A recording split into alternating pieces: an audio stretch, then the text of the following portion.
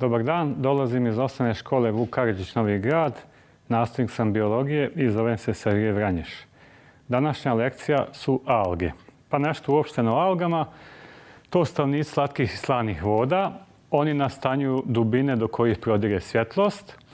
Sve alge vrše proces fotosinteze, to jest imaju chlorofil. I postoje alge koje imaju mrku i crvenu boju, mrke ili crvene alge. One također imaju chlorofil, ali su njihovi hloroplasti prekriveni crvenom ili smeđim pigmentom.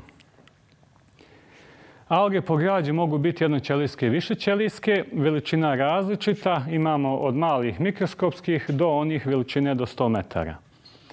Alge se dijele na zelene, mrke, silikatne i crvene. Zelene alge, dakle po građi mogu biti jednoćelijske i višećelijske, žive u slatkoj i slanoj vodi. Najpoznatije slatkovodne vrste su, kao na sliču što vidimo, kladofora i spirogira. Što se tiče zelenih algi koje žive u slanoj vodi, tu je najpoznatija morska salata. Ona je dobila ime po građu talusa. Taj talus posjeća nas na zelenu salatu koju mi konzumiramo u ishrani i dobila je znači, naziv morska salata po zelenoj salati.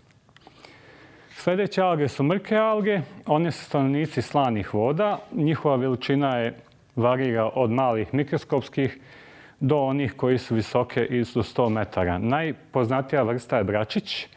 On je prepoznatljiv po vazdušnim mjehurima koje posjeduje što im omogućava pridržavanje u vodi. Dakle, bračić je jako visoka alga i pokretima morske struje ti vazdušni jastuci, odnosno vazdušni mjehuri, omogućavaju, omogućavaju algi da, da, da se talasa u vodi. Mrke alge su bogate vitaminima i jodom. Sljedeće silikatne alge e, naseljavaju slatke i slane vode, uglavnom lebde u vodi.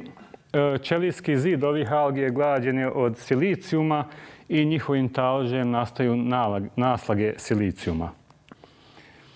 Crvene alge žive u slanim vodama i najviše ih ima u Crvenom moru. Na ovoj slici imamo jednu crvenu algu, a ova je slika crvenog bora. Naravno, more je dobilo ime po boji, a boja potiče baš od velikog prisustva ovih crvenih algi. Alge su značajne zato što proizvode kiseonik koji koriste drugi organizmi u procesu disanja. Naravno, učestvuju u lancu ishrane. Dalje, guste podvodne alge predstavljaju dobro sklonište za sitnije životinje, a za čovjeka su značajne jer sadrže organske materije, koriste se u poslastičarstvu kao i organsko đubrivo i koristi se još u industriji za proizvodnju tkanina i plastičnih masa. Jedna zanimljivost vezana za alge, ponekad se desi da se alge prenamnože, to zove cvjetanje algi, mogu, one se raspadaju i zagađuju vodu, a mogu da izazovu pomor riba u toj vodi. Ovdje imamo par slika zelenih algi, crvenih, silikatnih i bračića.